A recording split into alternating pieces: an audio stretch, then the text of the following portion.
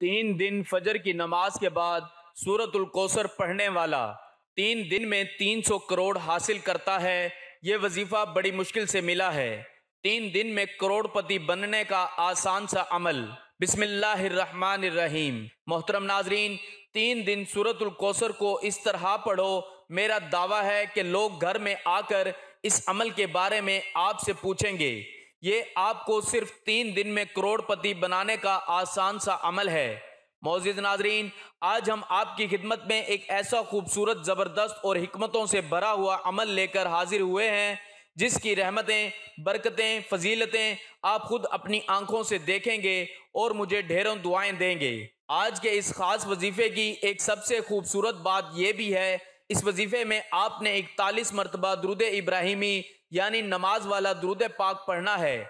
जब हम चंद कलमात के साथ इकतालीस मरतबा द्रुद इब्राहिमी पढ़ेंगे तो यकीन जानिए कि हमारी तमाम दुआएँ इसी वक्त कबूल हो जाएँगी, क्योंकि द्रुद पाक एक ऐसी वाहिद दुआ है जो हमारी हाजतों को, हमारी दुआओं को पर लगा देती है। और हमारी दुआएँ हमारी हाजात फ़ौरन ही अल्लाह रबुल्ज़त की बारगाह में कबूल मंजूर हो जाती हैं।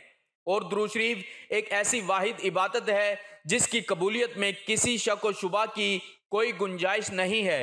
द्रुद पाक पढ़ने से इंसान के गुनाह मुआफ़ होते हैं और उसके दर्जात बुलंद होते हैं। द्रुद सलाम की सबसे बड़ी फजीलत और खसूसियत यह है कि कसरत से द्रुद सलाम पढ़ने वाले को ख्वाब या हालत बेदारी में हजूर नबी अकरम सल्लल्लाहु अलैहि वसल्लम की जियारत नसीब होती है। मैं अपने चाहने वालों से सिर्फ़ एक बात कहना चाहता हूँ कि अल्लाह रब्ज़त ने आपको जिस हाल में भी रखा है, सबसे पहले आप पुरसकून रहा करें और उस ज़ात बारी ताला का शुक्र अदा करते रहा करें। क्योंकि अल्लाह रब्ज़त एक मौका पर इरशाद फरमाता है, उसका मफहूम है कि वही लोग मुतमिन हैं जो मेरा शुक्र अदा करते हैं, मुझ पर ईमान लाते हैं और मेरा ज़िक्र अजकार करते हैं। इसलिए हर हाल में अल्लाह ताला का ज़िक्र लाजमी किया करें और सदका लाजमी दिया करें। अल्लाह ताला का हर दिन ही बाबरकत और फजीलत वाला दिन है। वो लोग जो बहुत परेशान रहते हैं और बहुत से वज़ाइफ भी कर रहे हैं कि उनकी परेशानी ख़त्म हो जाए, उनकी तंगदस्ती ख़त्म हो जाए, उनकी बेरोज़गारी ख़त्म हो जाए। अगर उन्हें दौलत चाहिए तो इस वजीफे की बदौलत उनको दौलत मिल जाएगी। अगर उसकी कोई ज़रूरी हाजात है तो उसकी हर किस्म की हाजात पूरी हो जाएँगी। वक्त की नज़ाकत को जहन में रखते हुए वजीफे की तरफ़ चलते हैं। ये कुरान मजीद की सबसे छोटी सूरत है, जिसको सूरतुल कौसर कहा जाता है। ये सूरत कौसर का बड़ा ही नायाब अमल है। इसका पढ़ने वाला किसी इंसान के आगे हाथ नहीं फैलाता। हाँ अगर वो अल्लाह की बारगाह से लाखों करोड़ों भी मांगेगा तो उसे मिलेंगे। क्योंकि रब ताला के खजाने में कोई कमी नहीं है। हर चीज़ पर उसकी कुदरत है। वो जिसको चाहे थोड़ा अता करे, जिसको चाहे ज़्यादा अता फरमाए। इसीलिए आपने रब करीम से गिड़गिड़ा कर इल्तजा करनी है और ये कलमात पढ़कर अल्लाह की बारगाह में दुआ करनी है। इस अमल की बरकत से आपकी कोई माली परेशानी है, औलाद की वजह से कोई परेशानी है, कारोबार की वजह से कोई मुश्किल हैं, या आपके घर के अंदर कोई मसाइल हैं, गर्ज जिस किसी भी किस्म की कोई भी परेशानी है तो सिर्फ़ तीन दिन नमाज़ फजर के बाद इस वजीफे को कर लें। इन अल्लाह पाक इन कलमात की बरकत से वो परेशानी दूर फरमा देता है। हज़रत अंस बिन मालिक रज़ी अल्लाह तु बयान करते हैं कि एक दिन हजूर नबी अकरम वसल्लम हम में तशरीफ़ फरमा थे, अचानक आप सल्लल्लाहु वसल्लम को ऊँग आ गई, जो कि नजूल वही की कैफियत में से एक कैफियत थी। फिर आप सल्लल्लाहु अलैहि वसल्लम ने मुस्कुराते हुए सर उठाया तो हमने अर्ज़ किया, या रसूल सल्लल्लाहु अलैहि वसल्लम, किस चीज़ ने आप सल्लल्लाहु अलैहि वसल्लम को हंसाया है? आप सल्लल्लाहु अलैहि वसल्लम ने फरमाया, अभी मुझ पर यह सूरज मुबारक नाजिल हुई है, तर्जमा है। बेशक हमने आपको बे इंतहा कसरत कोसर बख्शी है, बस आप अपने रब के लिए नमाज़ पढ़ा करें और कुर्बानी दिया करें। बेशक आपका दुश्मन ही बेनसल और बेनामो निशान होगा। फिर आप सल्लल्लाहु अलैहि वसल्लम ने फरमाया, तुम जानते हो कौसर क्या है? हमने अर्ज़ किया, अल्लाह ताला और उसका रसूल सल्लल्लाहु अलैहि वसल्लम ही बेहतर जानते हैं। आप सल्लल्लाहु अलैहि वसल्लम ने फरमाया, कौसर वो नहर है जिसका मेरे रब ने मुझसे वादा किया है। इसमें खैर कसीर है, वो एक हौज है, जिस पर मेरी उम्मत के लोग कयामत के दिन पानी पीने के लिए आएँगे। उनके बर्तन सितारों के तादाद के बराबर हैं। इस हदीस को इमाम मुस्लिम, अबू दाऊद और निसाई ने रिवायत किया है। आका सलाम के इरशाद पाक का मफहूम है कि वो कोसर एक ऐसा जन्नत के अंदर समंदर है, या एक ऐसा दरिया है, या एक ऐसी नहर है कि जब कयामत के दिन मेरे उम्मती पुल सिरात पर महशर के मैदान में खड़े होंगे मैं अपने उम्मतियों को उसमें से एक एक जाम भर भर कर पिलाऊँगा।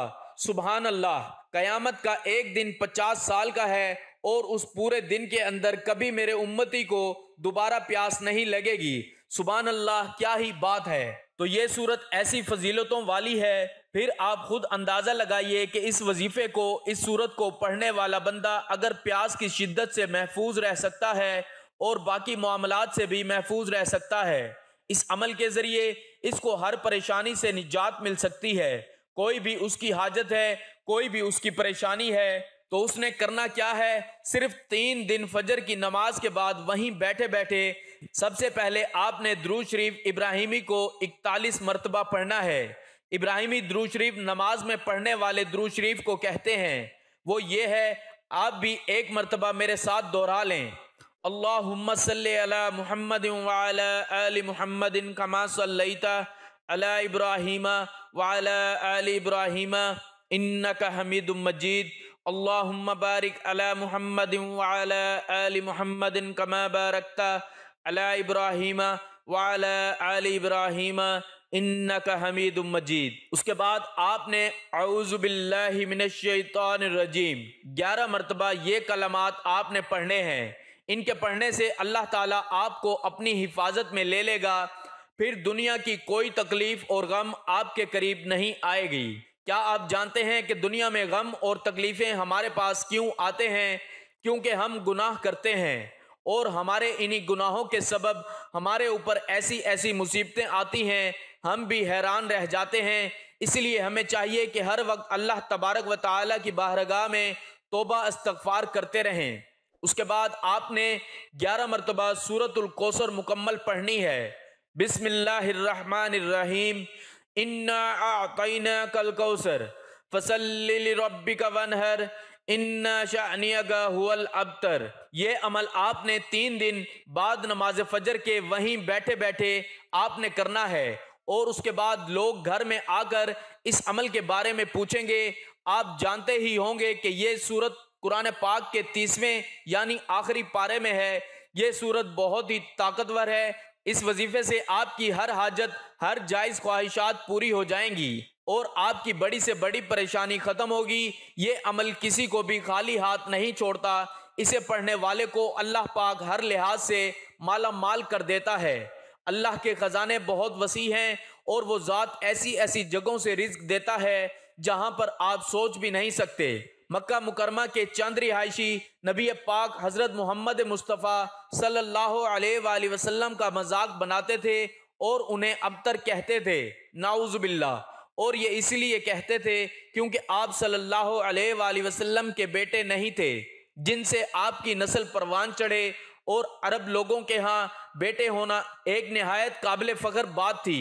आप सल्लल्लाहु अलैहि वसल्लम के दो बेटे कासिम और ताहिर जो कि बीबी खदीजतुल्कुबरा रज़ी अल्लाह तहों से थे, आप सल्लल्लाहु अलैहि वसल्लम के दौर में ही चल बसे थे।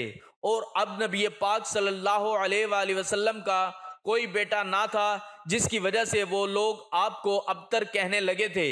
इसलिए इस सूरत के नजूल में आप सल्लल्लाहु अलैहि वसल्लम के दुश्मनों के लिए वाज जवाब था कि इस्लाम और कुरान हमेशा के लिए है और अल्लाह की बात सच्ची है। बाज़ के मुताबिक अल्लाह का जवाब सुनकर आप सल्लल्लाहु अलैहि वसल्लम को बे इंतहा सुकून मिला और अपने दुश्मनों की खूब पहचान भी हो गई। हौज कौसर की फजीलत, इसके अलावा सूरत कौसर के बहुत सारे फ़वाद हैं। आप इस अमल को मुख्तलिफ़ कामों के लिए इस्तेमाल कर सकते हो, जैसा कि मियाँ बीवी की मोहब्बत बढ़ाने के लिए, शयातीन और जन्नात से हिफाजत के लिए, दुश्मनों की ज़बान बंद के लिए रिज्क में बरकत और कुशादगी के लिए, पैसों और माल दौलत के लिए, लेकिन ये वजीफ़ा करने के बाद आपने अल्लाह की बारगाह में खूब रो रो कर गिड़गिड़ा कर ढेरों दुआएँ करनी है और हमारे लिए भी दुआ करनी है। जुमला अहबाब से गुजारिश है कि अपनी दुआओं में हमें और तमाम मुसलमानों को शामिल करें। अल्लाह पाक सबको अपने हिफ्ज़ अमान में रखे।